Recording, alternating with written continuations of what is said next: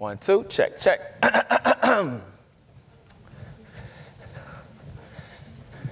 Good afternoon, everybody. Word. It's literally that one person said something. Good afternoon, everybody. So I've heard a lot. Well, I've been to Germany a number of times. I actually really love it here. And I know you guys are pretty like. So I got to let you in on a secret because if I can be lively right now, I think you guys can too. I've been terrified for the last 10 hours. I'm to tell you why. Because I got on a flight in New York last night and it was over an hour and a half late getting to Amsterdam. And I got to Amsterdam and I missed my connection. And I've been terrified ever since then because of the fact, as a black person, there's certain things you can't do. I'm gonna tell you about a couple of those things. One, you can't time travel too far back in the past. You can laugh at that, it's okay. Two, you can't, um, what's the other thing? You can't do that. And you can't be late for things because you just make your whole people look bad. So, all that said, I am very tired. I have not slept. So if I can be lively right now, you guys can be lively. Good afternoon. Good afternoon. Thank you. Okay, so we're going to talk about the content marketing overhaul today. And I'm actually going to overhaul that title right now and call that Scaling Quality version 1.6. And I call it version 1.6 because I'm all about repurposing stuff. And this deck, I've continued to improve over the last year. So you guys are going to get all my secrets on content marketing. And I know we got off to a rough start because you didn't laugh at my jokes, but that's okay. So I have a tendency to go quite quickly. You might want to just grab this URL. I'll tweet it later, so if you don't grab it quick enough, you'll have it later. Anyway, so everybody's talking about content. I'm sure numerous people got up and said, hey, content is king, content is so important, content is the currency. And a lot of people, they expect this when they do content marketing. So this is a study that Eloqua did where they compared PPC to content marketing. So they said PPC is the most efficient channel. You put a dollar in, you get $5 back, right? And then what they said is that content marketing, content marketing actually compounds over time. So those assets that you create will yield more conversions, more dollars over time because these are things that will continue to drive traffic. And so people expect a lot of this, but they get a lot of this and a lot of this because their content looks like this. Seriously, what is that? so the thing is that there's no excuse for bad content in 2015. In fact, there hasn't been a good excuse for bad content ever, but you know, for a long time you could just make terrible stuff for SEO and then you get traffic and whatever, whatever. But the reality is, there's so many art school kids that can't get jobs. So many kids that went to school for journalism that can't get jobs because journalism is basically dead. We have BuzzFeed now. So the other thing is that there's more data than ever. People are telling you every inane, mundane thought that they've ever had on a variety of social networks. You can mine that data to create content experiences that are very interesting. And I think where marketers tend to fail is that they conflate the ideas of content strategy and content marketing. So, if you make an infographic, you put it on the internet, and you hope that you get some shares, likes, and links and traffic, yeah, you've done content marketing. But if instead you build a system to figure out what type of content you're going to create, who you're creating for, how are you going to maintain that content, where are you're going to source it from, if you've done all those steps, then you're doing content strategy. So I believe, and from my experience, content strategy is very much the answer. You're going to see this a few times throughout the deck because I'm going to give you workflows on how to implement some of this stuff. But basically, when I say content strategy, I'm talking about starting from the audit phase where you're trying to figure out what you have that's already performing and what can do better. And then from there, you're coming up with a strategy. How are we going to approach the content that we're going to create moving forward? And then we're going to plan out the actual creation of that content then create the content, launch it, maintain it. And the cycle continues, right? And the other thing I want you guys to think about is the diversification of content types. When you think about content marketing, you typically think of, you know, maybe doing some drip campaigns, you'll do some blog posts, you'll do some infographics, maybe some ebooks and videos. Everything you see up here is content. In fact, these people videotaping me now have three more forms of content. They can put my video on the web. They can get a transcript from that. They can write about the video. You know, there's a number of ways that you can approach content. When I led marketing for a digital marketing agency, one of the first things I created was a comic strip. I wasn't like, hey, how do we do so many blog posts? Because I knew I couldn't do as many blog posts as was required to keep up that cadence. So, knowing that I had a content type that was actually interesting to people that wasn't that hard for me to make, we did that before I started writing blog posts. And we had some outsized returns from that. So, the other thing that you always need to be focused on is the return on investment. Because if you're not thinking about ROI, you're essentially just doing an expensive form of arts and crafts. I don't want you guys to get fired, so keep thinking about the money. All right, and the other thing is that you want to map your content to different need states or different phases in the user journey, and then map those need states to the right KPIs. It doesn't make sense for you to measure infographics based on sales. Nobody looking for an infographic is like, huh, I want to buy the thing in this infographic. That doesn't happen. So, what you want to do is map those to things like links, shares, traffic, whereas a buyer's guide is a much lower funnel piece of content. So, then you want to map that to sales. So, let's talk about content planning. How do we get you the right tools to effectively plan out your content strategy? Well, there's a tool called Murally. It's a great tool for brainstorming. Uh, it's a collaborative tool. So they call it, you know, Google Docs for visual people. You and your entire team can just be collaborating on this board, bringing in the things that you're seeing on the web that you like, so you can have kind of a mood board for the things that you're looking to create. Storyboard that. You're looking to create any type of visual content like a video, or you're thinking about com- content, uh, comic strips, like I said before. Anything that has a sequence of events that is visual, you can use storyboard that with all the assets that they have built in to build out that storyboard.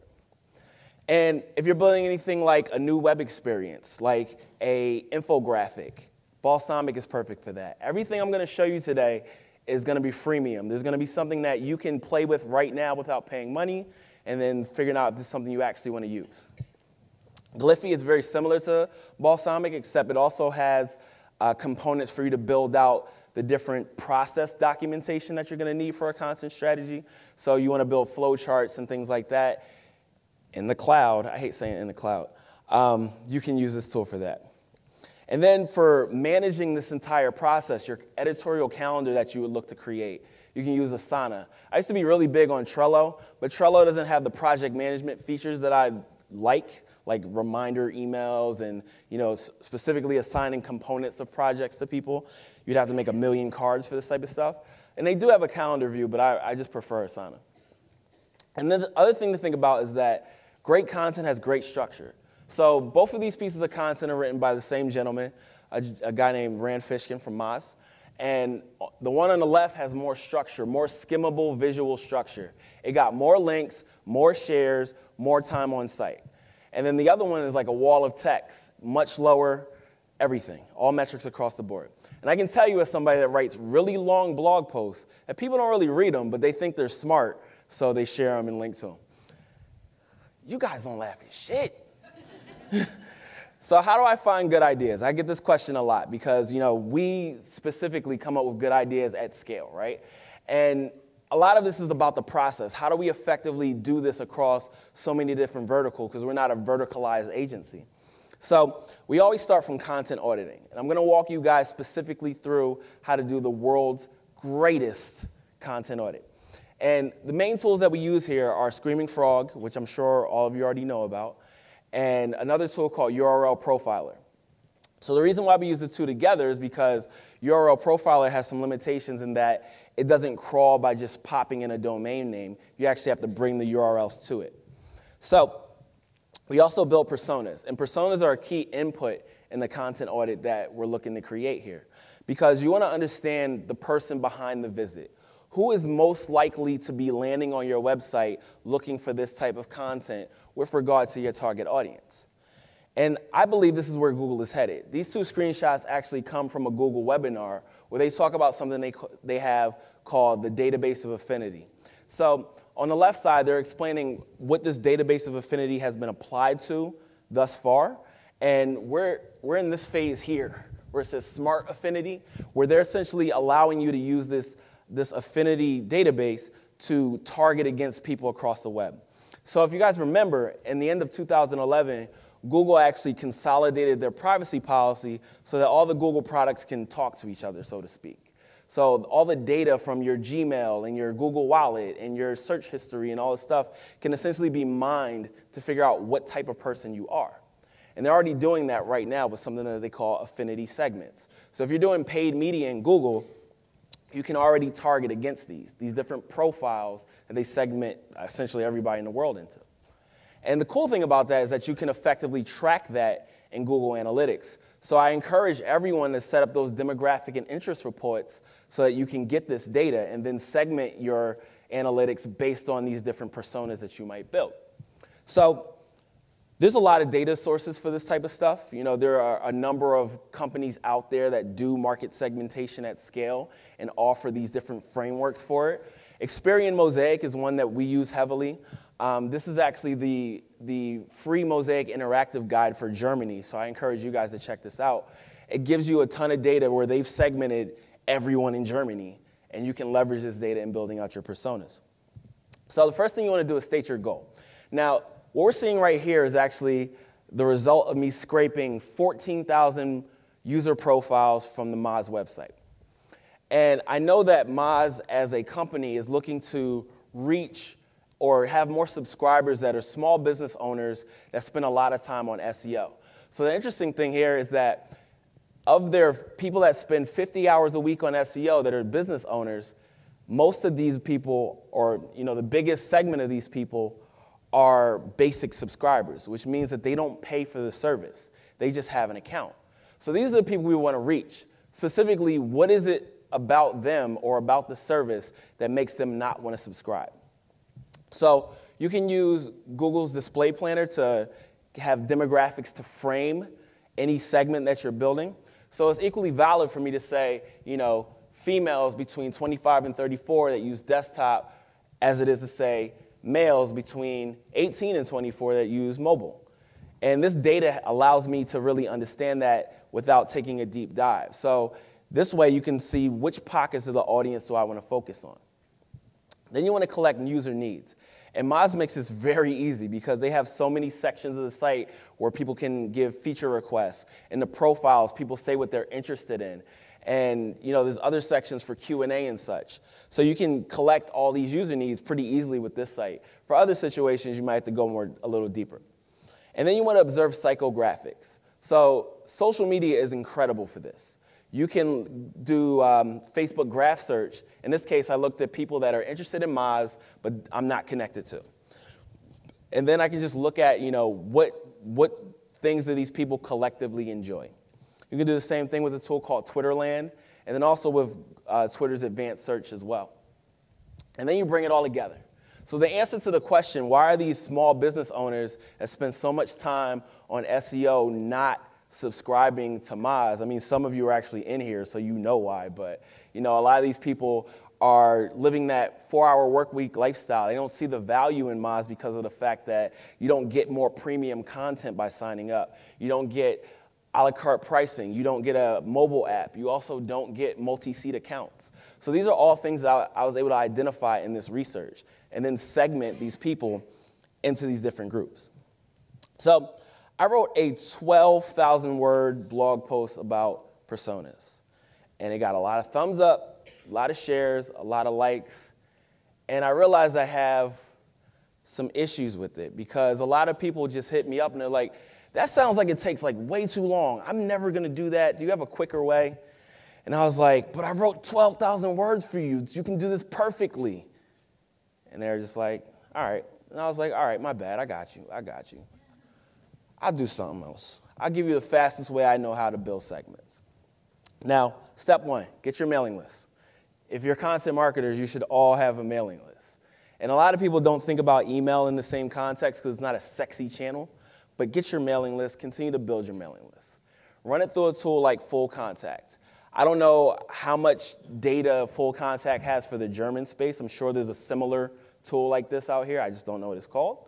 But run it through a tool like FullContact and then you're going to get all this data appended to your email list. And let me just be clear about what FullContact is. It's a data store where you can basically hand them an email address and they're going to give you demographic data, they're going to give you psychographic data back, the person's name, where they work, so on and so forth, right? And then you can take the list of um, Twitter, it's not, oh, there it is, Twitter names from people on that list and then throw it in into Demographics Pro.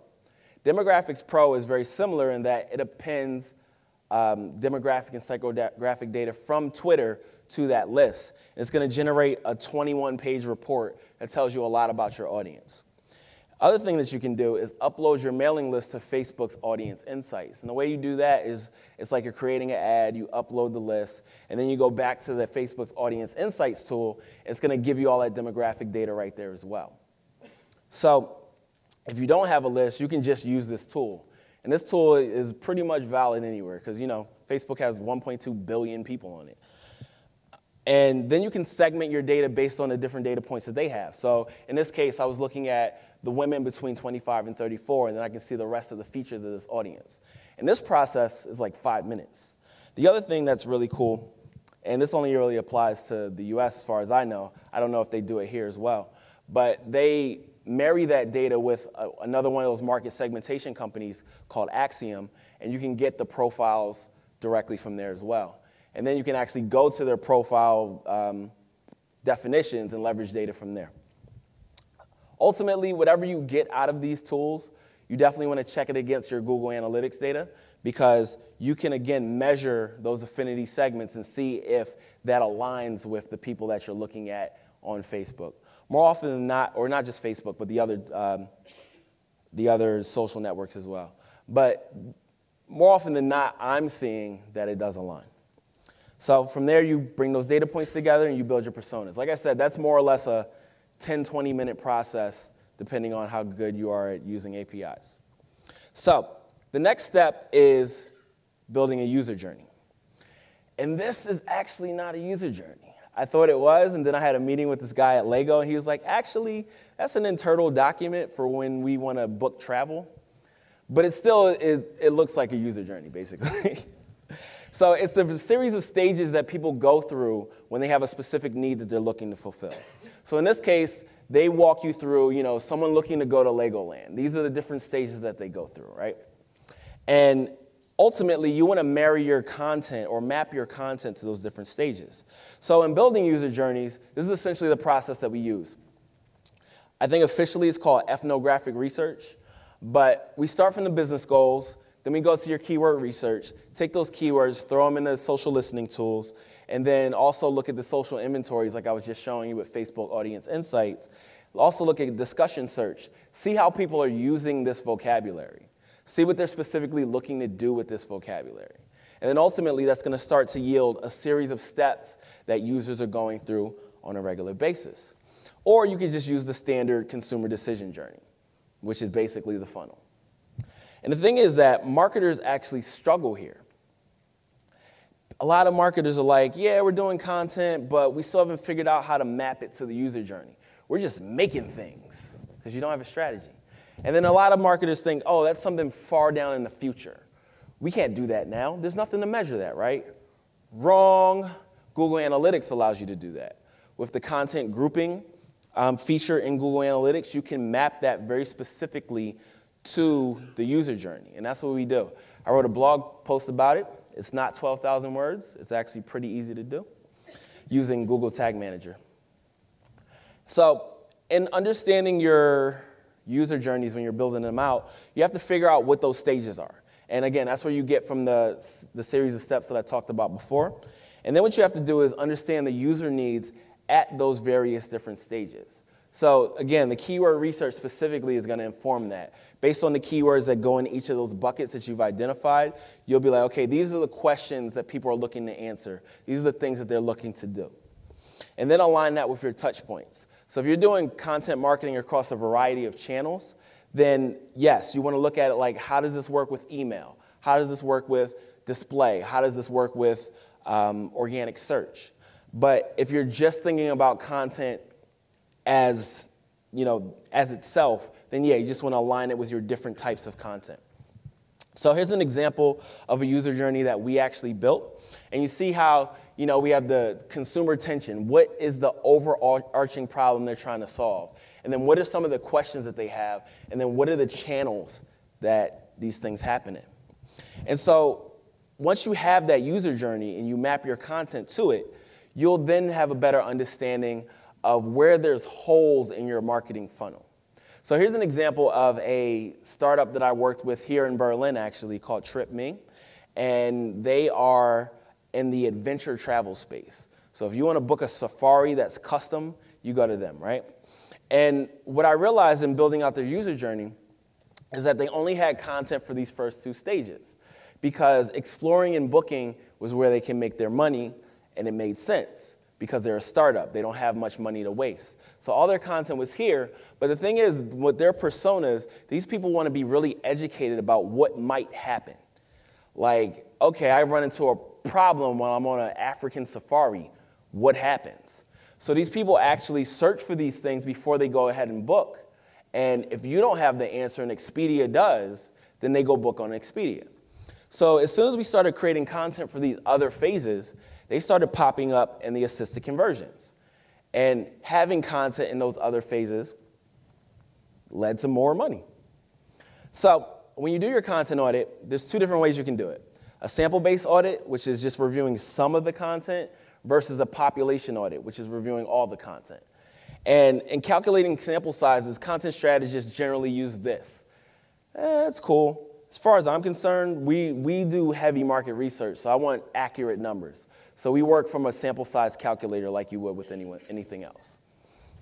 So what you want to do is, is review both quantitative and qualitative metrics. And when I say quantitative, I mean the ones that you can pull without having someone actually look at something to determine what that number is or what that value is. So all these things that you see here can be pulled with URL Profiler.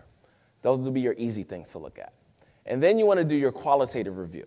And I'm going to go through these things more specifically so we can understand what these are. But basically, these are the things that a human has to determine whether or not what these values are. So, first thing is section, category, and what is it? Section is what section of the site is it in? So, is it, you know, um, in the shoes section of the site, or is it in the, um, you know, travel section of the site? versus categories, what type of page is it? So is it a product page? Is it a category page? Is it a blog post? And then what is it is just a short description of what this content is so that you don't have to go back and look at it again. Redundancy, is this content redundant, repetitive, useless?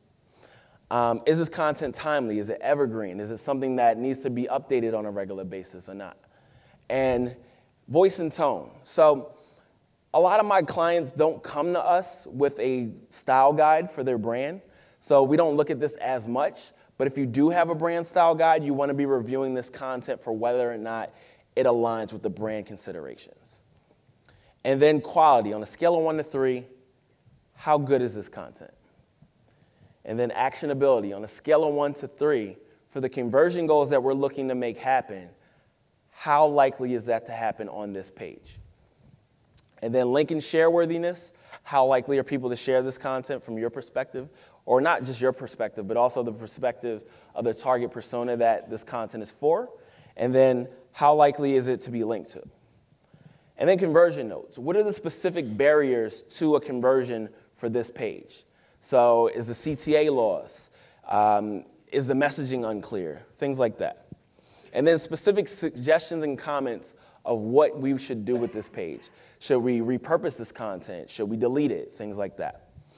And so your first step is to determine the size of your audit. So given the number of pages that you know are on the site, are you going to go with the population audit or the um, sample-based audit? Then start with Screaming Frog, throw that domain in there, crawl all the pages, get those URLs, throw it in the URL profiler. These are the things that I typically look at. So links from Majestic, Moz, Ahrefs, uh, grab the HTTP status, the Google Analytics data, which is critical here, social shares, page speed, is it mobile friendly or not? And then import all that stuff into Excel, and then you're done. Just playing. Then you want to take your, your quant sheet and color code it because it's going to be overwhelming otherwise. And you know, obviously the values you'll figure out which ones are better, which ones are worse, and you color code it based on that. And then you perform a qualitative review. But don't do it like this lady because she's not even looking at the computer. Yes, you laughed. And then build your insights from there. So, in fishing for insights, the best thing you can do from my perspective is use a pivot chart. This is the quickest way to figure out where there are issues. So, the thing is, you can play with these all day until you get some cool insights, which is generally what we do. But typically, using page value from Google Analytics is the best measure of quantitative effectiveness. So, we basically pivot off of that. And here are, here's one of the examples of the ones that we do every time. So, reading difficulty versus page value. Are there a lot of pages that are hard to read that are not generating money? Generally speaking, this is what happens. If it's very confusing, no money is made here. So those are quick hits for figuring out where you want to do some conversion rate optimization. So keep doing those pivots until you get a story out of your data. And you'll notice I only quote me in these things. Here's some uh, combinations that I like. You know, again, you'll have this to look at later, but we look at page value versus format, page value versus social shares, images versus readability score. We keep playing around until we see something that's actually valuable and not spurious. Um, you can have my content audit template, get you some Mike King to go. But there's more to talk about. So if you don't want to do any of that because you're like, oh, that's way too much work, well, you can use Followerwonk. Follower wonk will help you come up with good ideas because what it does is it it grabs the um, bios of all these users and then creates these word clouds. You put two of those ideas together, voila, you now have a content idea. And the thing about Followerwonk is sometimes that the sample size of the users that it reviews is too small. So you can use Simply Measured's uh, free Twitter export, which will give you up to 10,000 users, and then take the bio column, throw it in the TagCrowd, and you'll get that same type of word cloud. Bottlenose Sonar is a great tool for keyword research in that it allows you to review um, Twitter, basically. So you pop in a keyword in, you pop a keyword in, and uh, it'll tell you the co-occurring keywords on Twitter in these different conversations. And it'll give you this web of keywords that you can then take two ideas, put them together, come up with a content idea, and then you have a built-in audience that's talking about those two ideas that you can reach out to once you develop that piece of content. Quora is one of my favorite sources for ideas that we basically steal because people will write these ridiculously long posts about something I never thought about. And then you can just basically take those ideas and then create another piece of content from it. And the best part is the really popular ones will have like 11,000 people following it. So you can then just reach out to those people and be like, yo, look what I made. I'm excited. I'm sorry. Actually, I'm not sorry at all. Who gives a shit? Um, so when it comes to keyword research, there's a variety of tools for that, but Keyword Tool IO is pretty great as far as identifying, um, you know, long tail opportunities and identifying keyword opportunities that will lead into content ideas pretty easily. And this is an older screenshot. They've actually added a lot more features, like you can get search volume with the tool now too. It's really crushing everything else as far as like Ubersuggest and all those other things. And if you don't want to do any of that, there's this tool called Utango where you can crowdsource ideas. There's literally creative directors just sitting around like, hey, who needs an idea? And you can just get them for free. It's amazing. I love the internet. Um, the other thing is that, you know, I talk a lot about personas, but if you want a more in depth, detailed review of that, check out this presentation that I did. Okay, now we have our idea. We're ready to roll. We need some data. I said there's so much data out there. Let me get you some data. All right, you have your personas. You want to know specifically what pe these people think about something, right? You can use a tool like SurveyMonkey Audience. There's a number of survey platforms out there. I only talk about the stuff I use. So SurveyMonkey Audience is a tool where you can essentially poll a very specific audience. And then you can use that data to build custom experiences. There's also Google Consumer Surveys. I prefer SurveyMonkey because of the fact that people have to explicitly tell you what their demographics are and where, what type of work they do, whereas Google is inferring it from the, the uh, uh, database of affinity. So there's also Google public data. If you're looking for data from your government or something like that, Like you can get census data here, things like that from this data store. Marketing charts. Every time a client is like, so what are the trends in social media? I'm like, ha ha ha, give me one minute. Marketing charts, and then boom, I got data right there. I'm saying, I got to do things quickly. I got a lot of people that I work with. Um, Google Consumer Barometer is a good tool for getting a lot of data on like how people are um, interacting with consumer goods. All right, Zanran is a data search engine. Um, you can search for data. Data Market, also a data search engine. Of these data search engines I'm going to show you, Zanran is the best, but I just want to give you more options. Get the Data is like a more curated data store. Data 360, also a data search engine, but specifically with a bent toward news. Okay, you got data now. You got an idea. But you can't code, you can't draw, can't write. So how are you going to outsource these good ideas that you have? Okay, there's 99 designs. And some of you may have already heard of 99 designs, so let me caveat this. Um, if you spend 99 bucks, you're to get bullshit. But if you spend like 750 bucks, you're to get great stuff. And the other thing, well, the way that it works is essentially it's a design contest, right? And you post your brief, and then people, you know, submit uh, designs based on that. And if you don't want to do it that way, you can actually reach out directly to a designer in your area that fits your criteria. So Dribbble or Behance or any number of these portfolio sites are searchable so you can find like a UI designer or illustrator and then look through their stuff and you find somebody that makes the type of stuff that you like and you reach out to them and say, hey, let me buy some design from you.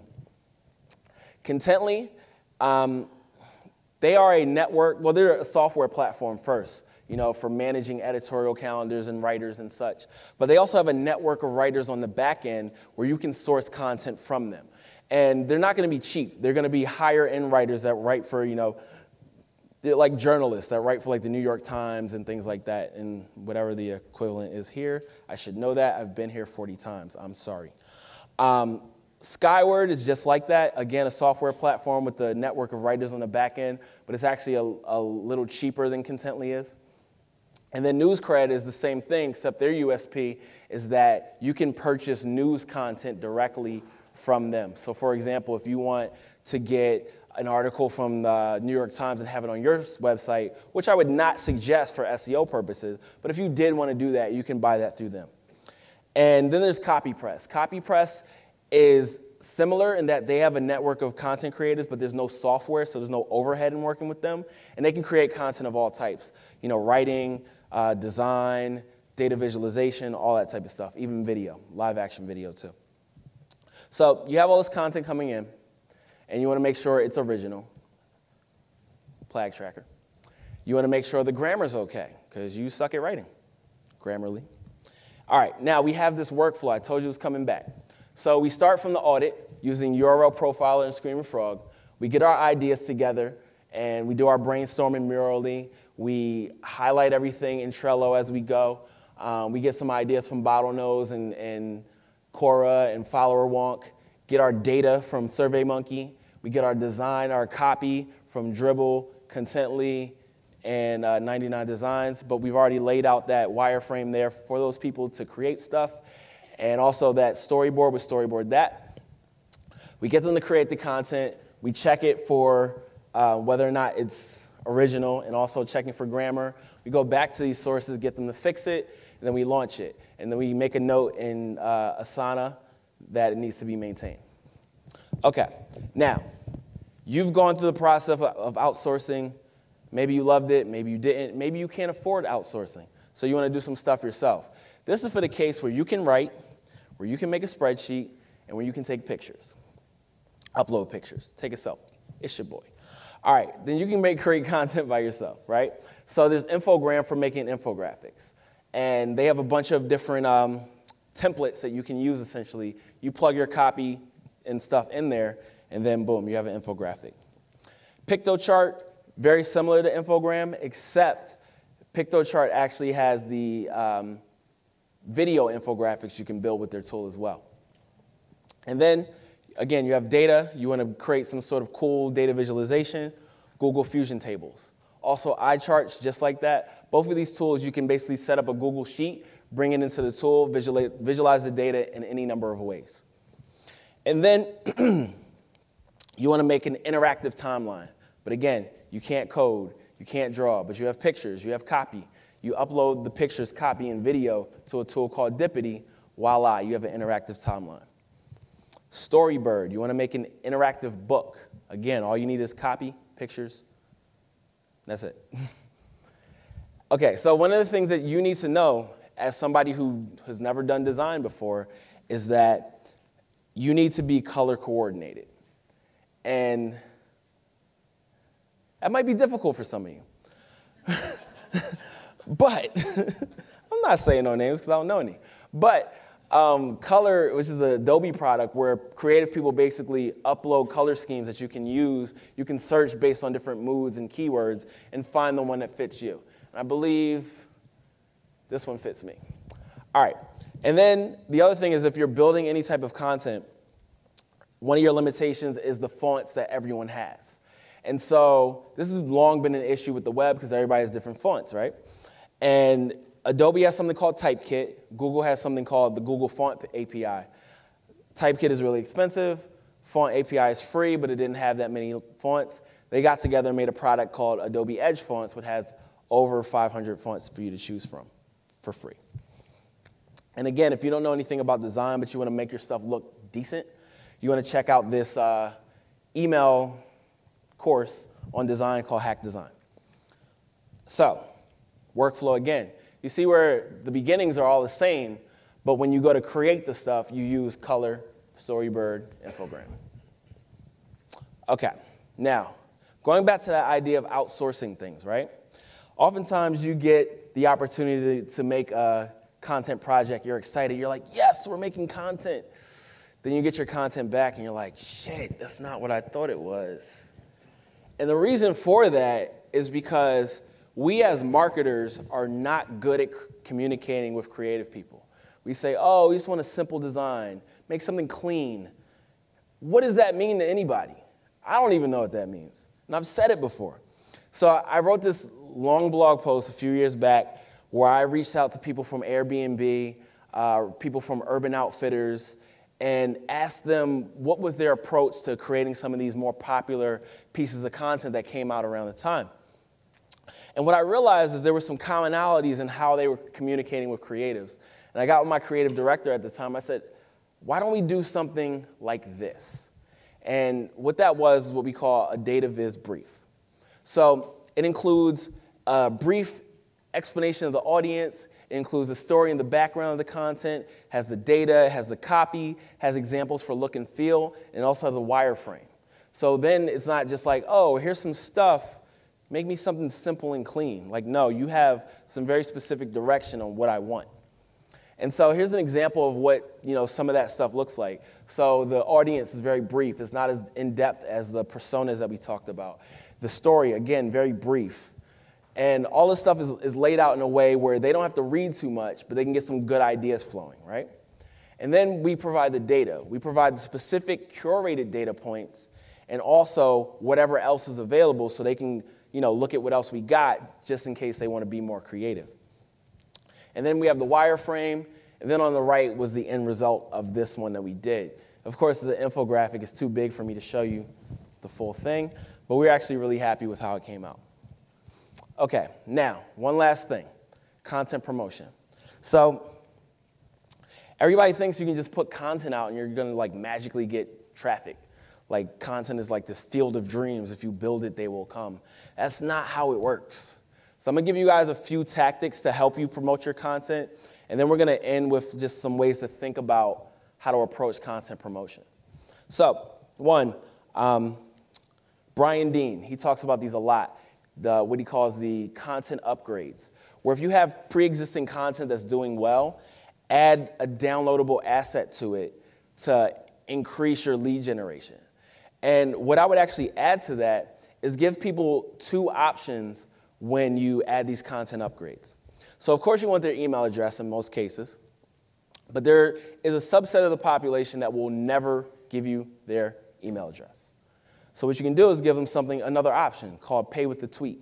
And so the way that Pay with the Tweet works is they effectively have to promote your content in order to get your content. So that way they essentially tweet it out and then they're able to download it. And Pay with the Tweet is not limited to just Twitter. It's just called Pay with the Tweet, but you can also pay with a Facebook share. And I think it basically works on every social channel that you can share stuff at this point. And we've done this a lot in the past. We've actually combined this with guest posting, and it works really well. Um, there's also a tool called Sniply, where essentially when you create this URL shortener and you're sharing a piece of content, you can have your own CTA within that content.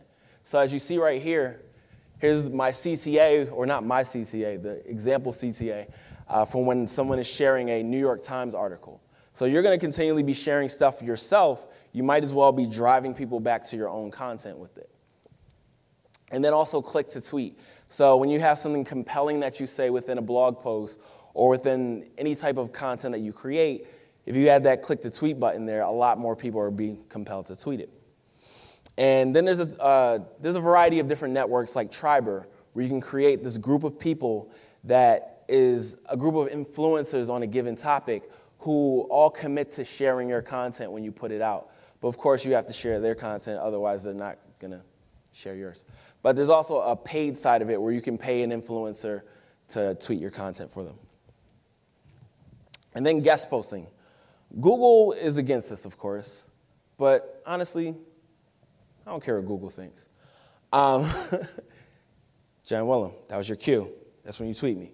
Anyway, um, so yeah, continuing to guest post for populations or websites where there are populations that are full of your target audience, or at least influence your target audience, will um, yield a lot of outsized returns, especially if you combine it with what, what I was saying with the uh, pay with the tweet. So typically, what we do is we'll, we'll guest post, no, we'll create an asset that is like a bigger picture asset. And we have one coming out next week. It's the uh, complete guide to Google Tag Manager. And so what we'll do is we'll do a guest post that's like a tangential topic that links back to that complete guide. But you position a CTA within that post that's relevant, and then people go back to that content. And essentially, there's that landing page where they can then pay with a tweet. So let's say you go to a site that has 100,000 people going to it on a regular, on a monthly basis.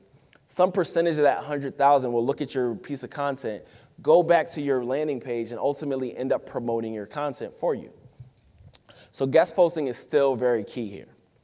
And then um, another content promotion tactic, you know, look for Quora threads that are relevant to your content and add a response with the link to your content. You'd be surprised how many people are using Quora and will then click that link and go back to you, and then also end up linking to that content as well. And then also stop forgetting about your mailing list. Again, email is not sexy. So people don't think, oh, let me fire this out to this very specific population or segment of my mailing list who will ultimately share this content or at least view this content. If you have a big list, you send one email. I don't know how many of you guys are SEOs, but like if you've ever been on the Moz top 10, I get so much traffic from that. Email marketing is still very key. And also, you know, posting quotes in, in social media. So going back to the idea of click to tweet, where click to tweet is your users posting those um, quotes for you. You can do it yourself. As long as they're compelling, people will retweet and click and such. And then having good visuals, good metadata for your content for social is, bar none, one of the most effective things you can do for your content. A lot of people, when they think about metadata, they're just like, oh, I'll just do my page title and my meta description. That's enough. That's not true because there are different mindsets that people are in for each different channel. So metadata is all about making the best first impression with your content in that channel. So you got to remember people that are on Twitter are more looking for that headline news type uh, content, whereas people on Facebook are stalking their ex-girlfriend, so they need to be surprised by something. So creating the right metadata is always going to be important. I encourage you all to check out this uh, content promotion ebook from BuzzStream. But I'm just going to leave you guys with a couple formulas that they have in this ebook for you to determine, you know, the best ways to uh, do your content promotions. So essentially, you have to start from your goals. If you have a goal number of leads, you got to know how many, um, what your what your lead qualification rate looks like? What is your conversion rate? So you basically back those numbers into the hard numbers that you're trying to go after. Same thing works with the download goal as well. And then for spend across channels, again, it goes back to that goal of how many views do you want, and then how much spend is that going to take. That's how you're going to get to the views per, per dollar that you should expect. And then the same thing with link building. So for outreach, you need to figure out what is your conversion rate on outreach. If you're converting at 20%, but you need 100 links, do the math. I didn't feel like doing it in my head. Um, so yeah, basically you have to work off that. And you know, a lot of people have a lower conversion rate for um, outreach than 20%, but you can use that if you've never done outreach before. So wrapping up, thank you all for having me here. Um, you know, a word from our sponsor, which is me. We do this stuff, consulting and training. We do this stuff. That's all I got.